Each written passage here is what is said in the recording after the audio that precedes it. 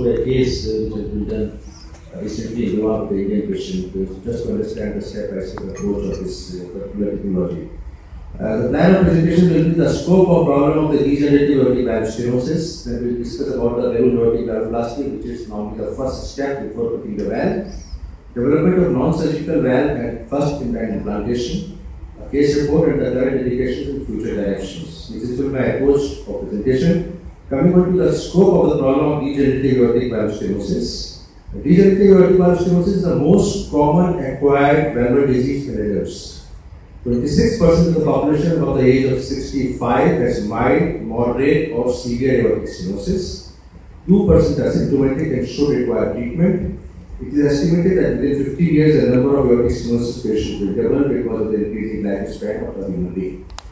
The valvular aortic stenosis, the average course is that once the symptom develops, the average survival is not more than 2 to 4 years. And therefore, surgical intervention should be performed promptly once even the minor symptoms occurs. And it has been seen that the prognosis of aortic stenosis is not significantly changed since 1960.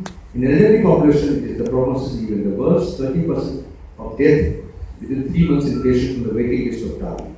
That means aortic stenosis, once it develops, has to be treated carefully. Surgical valve replacement has been the standard of care for decades. The standard is patients, mortality after aortic replacement is low and reasonably okay. But mortality and morbidity increases the patients with associated risk factors like breast ejection fraction, combined bypass surgery or previous bypass surgery and comorbidities. But it is also well known that after successful valve replacement, patient lifespan returns to that of normal or general population. This is very important. That means the valve has to be changed either percutaneously or of course surgically. The second part which I to present now to go about the balloon aortic valvoplasty, which is very important. This was done in 1985 by Professor Alain. At that time, age per se was a contraindication indication for the aortic valve replacement. Of course, this was being required more in the elderly population. September 1985, a very important day. 72-year-old female, highly symptomatic. Two years, this patient was successfully done with 20 millimeter balloon and two years the patient lived without symptoms, returned to the normal life. And this was published and this was a rare a memorable reaction for the medical community. I think a lot of people must have attended this, Dr. Fayaz Shaw must have been there at that time. And specific balloon catheter was developed by Mansfield and Boston Scientific and this was known as prepared attack balloon. But in 90s, although thousands of cases were performed worldwide, I'm talking about balloon and valvoplasty, impressive number of registries, FDA approval also happened. But there were important limitations which restricted the use of balloon aortic valvoplasty in calcific aortic stenosis. What was the limitation? We all know. It was early valvular stenosis and no major beneficial effect on the long-term mortality. These were the limitation at that time. But of course, at that time, this is what Dr. Pilier said that aortic valve came to his mind. And uh, but at this time, 2015, the balloon aortic valvoplasty is still being performed. It's a simpler technique, especially because of the rapid ventricular pacing which, which, helps in not dislodging the balloon while it is being inflated. Balloon sizes are 20, 23, 25 millimeters and smaller sheets are available. Coming on to the non-surgical aortic valve, it was developed in first in implantation. Uh, this is uh, what Dr. Pilier said. 1985 was the year when the first balloon aortic valvoplasty was performed. In 2002 was the year when transcatheter first was deployed in first in implantation. Uh, developing TAVI was an unrealistic project. The goal was to improve the results of balloon aortic valvoplasty without any restenosis. And therefore, this was highly challenging because of valvular calcification surrounding structures which are coming on the way when you put a valve, coronary arteries, mitral valve, and septum. And the clinical issue which was being discussed, discussed was coronary occlusion, mitral valve injury, permanent active block, but the base bundle is very nearby. Come stroke, aortic regurgitation, prosthesis migration, and non-lasting results. This was challenged at that particular time. And the birth of concept of percentage was rapid because the balloon expanding the stent with high radial force might keep the wall open. This was the observation which was done in animal experiments. This was the observation any calcified valve can be circularly opened by high pressure balloon. This was initial basic step and thought process which led to the birth of this cell. A valve structure would have to be attached within the stent. That means once you have a stent here and you attach a valvular structure inside, then of course you can lead to a process of non-surgical valve implantation a challenging combination of balloon expandable frame and the valve structure. This was actually developed and there was a search for the sponsor in 1994 to 1999 And technically, this was although it was submitted to Medtronic and Edwards at that time, but they declined to take it. They thought that technically impossible. It is uh, uh, possibly clinically dangerous and irrelevant in most crazy projects. Which tells about the right side, but you have to be very careful again to see what it is. Then, of course, before the start of the procedure, you have done the right groin function. You have to put a ProStar, which is being deployed from the right groin, and then the aortic root pigtail from the contralateral side before the TAVI procedure, you have to assess the aortic leak and just to have the idea of the valve. This is very important. This is done before everything starts. Pigtail is being positioned from the left groin. The right groin is the main area where from where you put the sheet. Now 18 French long sheet is now being in place. 18 French long sheet is going up, as you can see. And the next line you find the 18 French place. The Nova Flex sheet, which is the sheet through which the valve travels, you have to put inside the 18 French long sheet.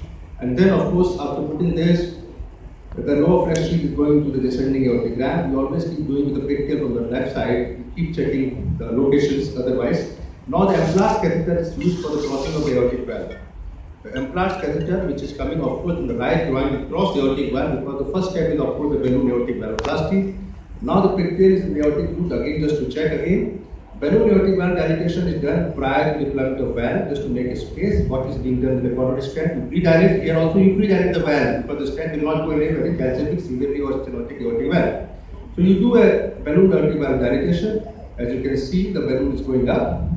Close, close. And this is the first step that I told you. Now the Novaflex sheet with the Edward extended valve being positioned. This is a very important and crucial step. The valve which is crimped outside is being positioned inside the sheet. It is still in the descending aortic uh, descending aorta. The lower Novaflex sheet with the valve is now traversing up. And this positioning goes up. You have to do it quite slowly because there is a lot of calcium and determination. The aorta is not so easily fragile patient, especially the size of the valve. This traversing of the of the valve in the lower Novaflex sheet takes some time and you have to be, have to be very, very careful because sometimes you can have complications at this point in time. So Edward valve inside the Novaflex sheet going up and now this is a crucial step when you have to position this uh, uh, valve inside the aortic valve. Here comes the precise positioning. The positioning of the valve has to be done very carefully. It should not cross, it should not block the coronary arteries, it should not be deep inside the LV. And the, the basic dictum is that you keep checking with the aortic pigtail, pigtail, you keep checking the low position. You have to be guided by two things. One is of course the calcium inside the coronary, inside the disc, and secondly, at the same time, you have to be very, very careful that 60%, this is a small dictum, 60% of the valve should be inside the left ventricle, 40% should be approximately, not it's not 50, 60, 40, 40% inside the inside the aortic annulus. Now, this is being just like a stent-like procedure. A, of course, uh, beating the heart is beating at the rate of 30 with the pacemaker. This is just the deployment of the valve after careful positioning. You know the coronary artery is well below, it's not inside the LV, and now this is being positioned. Immediately after there was a reduction in the gradient, valve was well deployed, and the aortic root angiography was done, although it showed a mild aortic leak, which somehow recovers within a few days after uh, with the echo, which is confirmed. Now the Novaflex sheet is removed and you to see the islets. And from the right groin again, the picture is being, being shown that everything is fine with the islet, common islet as well as external and internal iliac arteries. And then final angio after the groin, the sheet and closure achieved by the ProStar. If now the sheet is out, you have to close the femoral artery puncture, which was a key French with the ProStar technique, at what value is fluoro and AOVU. And then, of course, the post procedure, the creatinine level was little high, only I think 100 to 150 ml was used. And the precaution were taken, proper hydration, as we all know. The patient was discharged in the fifth day of procedure. And the four year post follow up, because 2011 November now to 2015, patient is still doing well, the aortic valve, keep doing the echo at our hospital in Apollo. Everything's fine, the gradient has not gone up, and patient is reasonably doing well.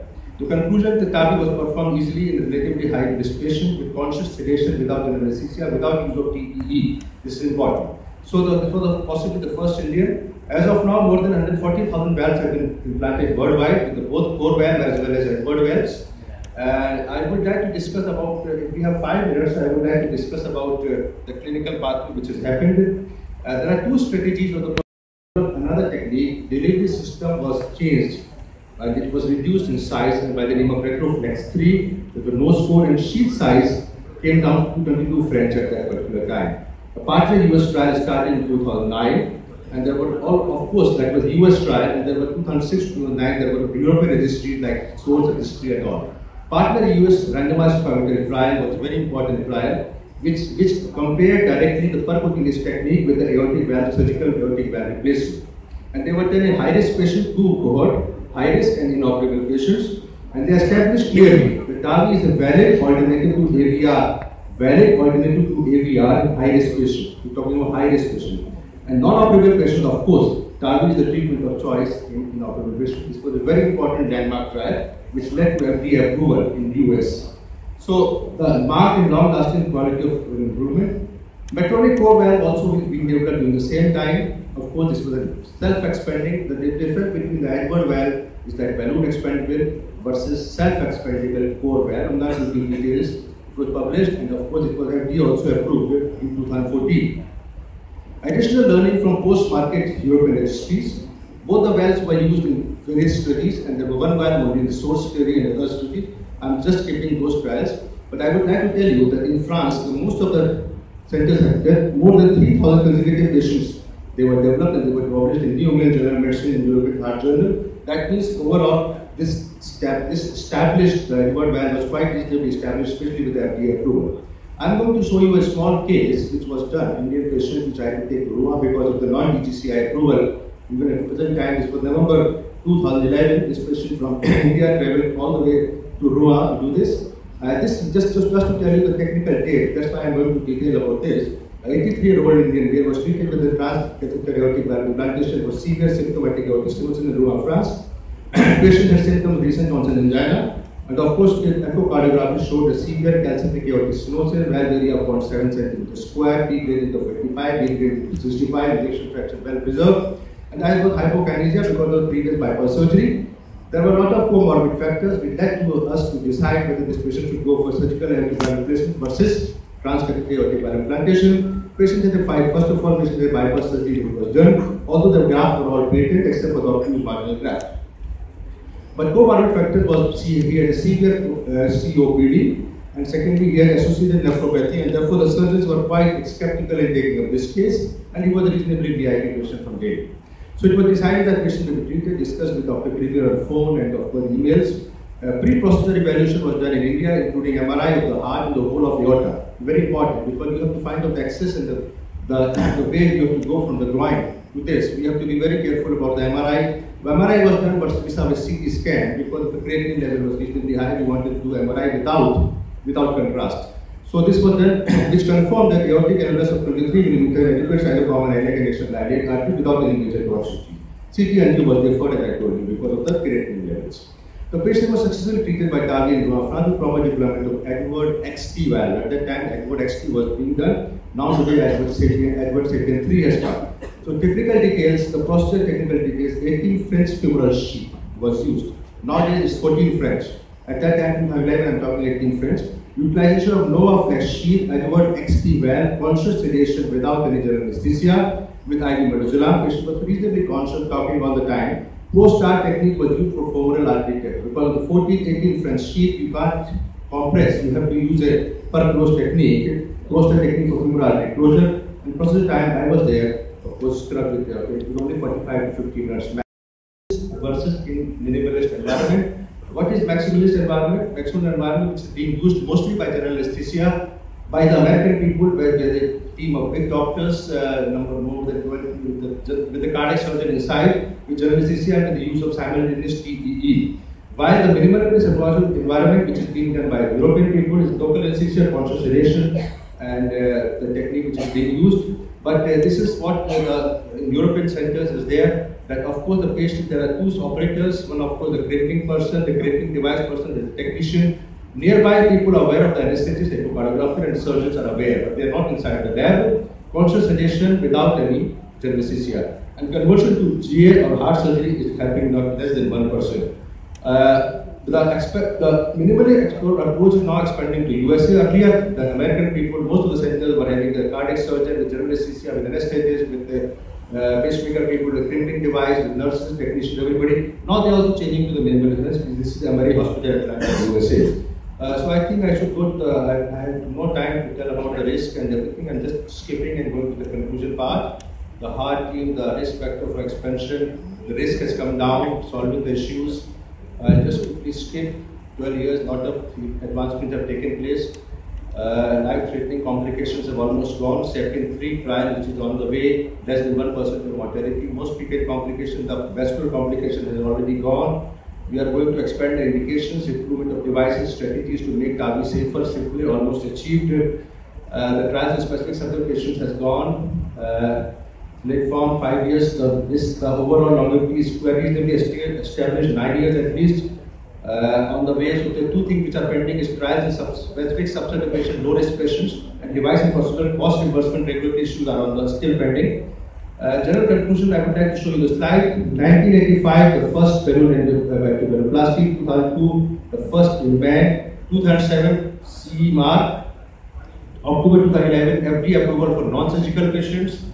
Then October 2012, FDA approval for high-risk patients and guidelines have come up. And for the core valve, the FDA approval has happened in March 2014. So this was just a clinical long pathway, 25 years from BAV. Uh, 10 years was uh, celebration was happened in, uh, in Goa in 2012, where most of the people we also attended that same place. So in 2015, TAVI is recognized as a medical breakthrough, a disruptive technology which can be largely applied addressing an important unmet clinical need for the common disease, a benefit demonstrated by rigorous evidence-based evaluation, durable impact on the platform of medical practice, TAVI has saved life and improved the quality of life of thousands of patients who otherwise would have been left untreated with a catastrophic outcome. Within 10 years, TAVI become, might become the predominant therapy for the calcium aortic stenosis. So with technological, technological improvement, advancement, the number of centers and procedures should continue to expand in high service surgical patients. The 13th with the approval, TAVI is being used widely in USA more than 70% within 5 years expansion of indication to other substance patients such as less severely in younger patient can be expected. Controlled registries are requested, just invasive procedures to stand like will be there. 10 years, nobody knows that it becomes a major part of the stenosis even with normal risk patients.